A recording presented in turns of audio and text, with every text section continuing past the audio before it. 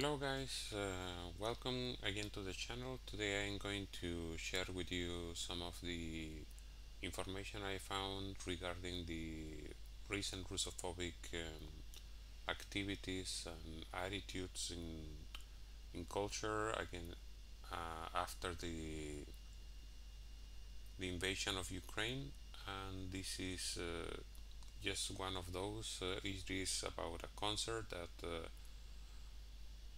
ironically, this was a concert in support of Ukraine, and it was cancelled because they didn't like that the group was uh, using balalaikas. This is a um, Russian article which was translated to English, and it is uh, actually a little bit ridiculous. If you can see the name of the group,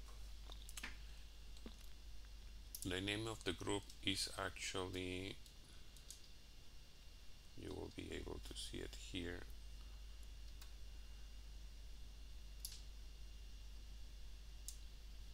Sodra Bergens Balalaikor. So this is the name of the group. So part of the name of the group includes the word balalaika. So why were they surprised that they were using balalaikas? I I'm not. Um, I don't understand really.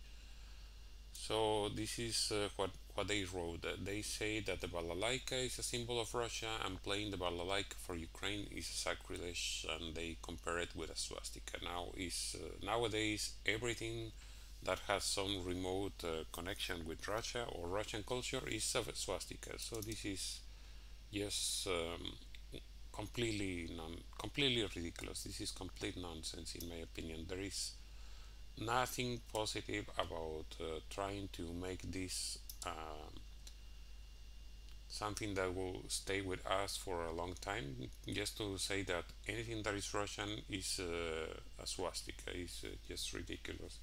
And for you, for those of you who don't know, Ukraine and Russia share a culture. This culture is called Slavic culture. So, just to say that balalaikas are Russian is completely ridiculous. So this is a photo of the group Sodra Bergens Balalaikor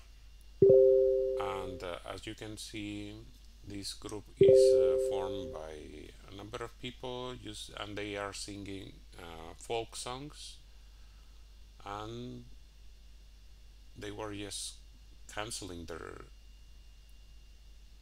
their concert you know i'm sure they were as surprised as i am for this uh, situation.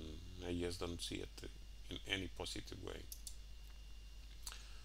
And uh, there, there was this uh, other piece of information where Ukraine is proposing to ban all Russian songs. Uh, um, basically, the performance of Russian songs in the media and public places. Uh, this is uh, another initiative. Just canceling Russian culture this is uh, from um, Irish orchestra. They are banning Russian works. So any Russian composer, it doesn't matter if the composer was born 100 years ago, 200 years ago. They're just banning everything that has to do with the Russian culture. Tchaikovsky, you know, is uh, yes beyond ridiculous uh, you know this complete nonsense uh, but they keep doing it i don't know how is this going to benefit anyone but they keep doing it anyway you know? And this is the same uh, this is the english version of that article where i was uh, mentioning that uh, they are creating this uh, law and prohibition of music by russian performers on radio and television probably also in social media.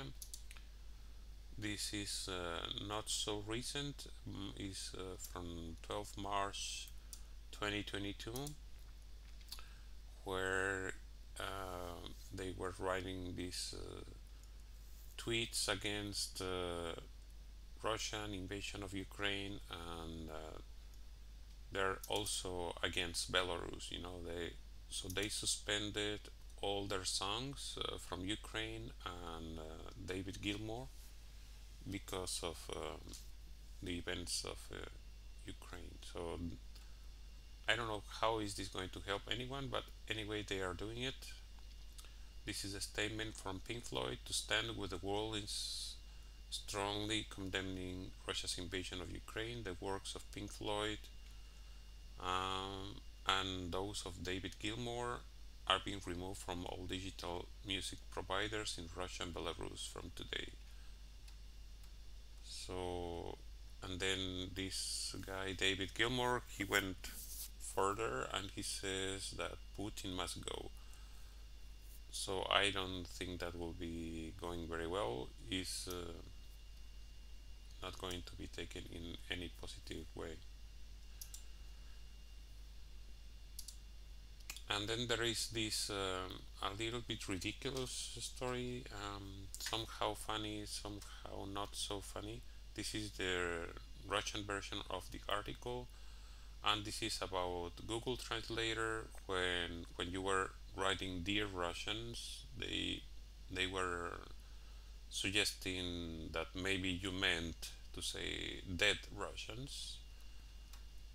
So this is a screenshot of this uh, particular issue if you can see it here. So this is what uh, was being shown in the translator so what this means is maybe you meant to say dead Russians and maybe they corrected that already because when I tried to reproduce this issue I wasn't able to do it but anyways um, really concerning that even big companies are doing this kind of thing that is uh, just very immature, very stupid. I don't know what is gaining, what is being gained from this uh, campaign.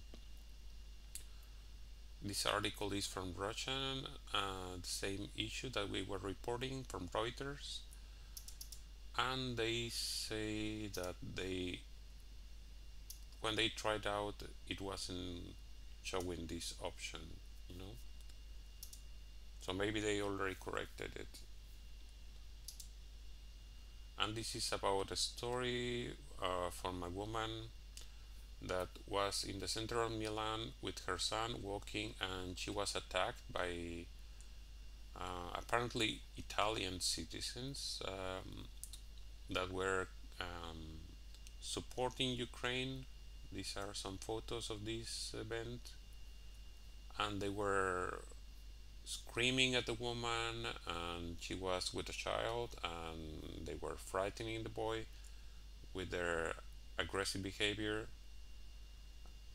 and uh, there's they say there is a video of this uh, particular incident. Um, they were shouting in Italian and the woman replied that uh, she's living in this country and she has the same rights as, uh, as the people that were you know attacking her for nothing else more than because she's uh, Russian you know there is uh, no other reason. And she was talking to her boy using these words why are you crying? Look here am I crying? Look at me I'm Russian and you're Russian.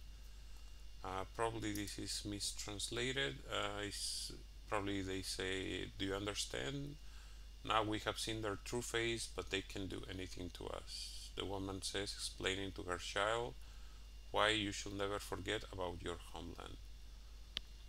So this is uh, something that is systematic, that is uh, uh, really concerning. I, I don't see this in any positive way. I, I don't see what can be gained from canceling uh, sporting events, uh, participation of people from U from Russia in musical events or any kind of artistic expression or sports. Uh, yes, uh, because they're Russian.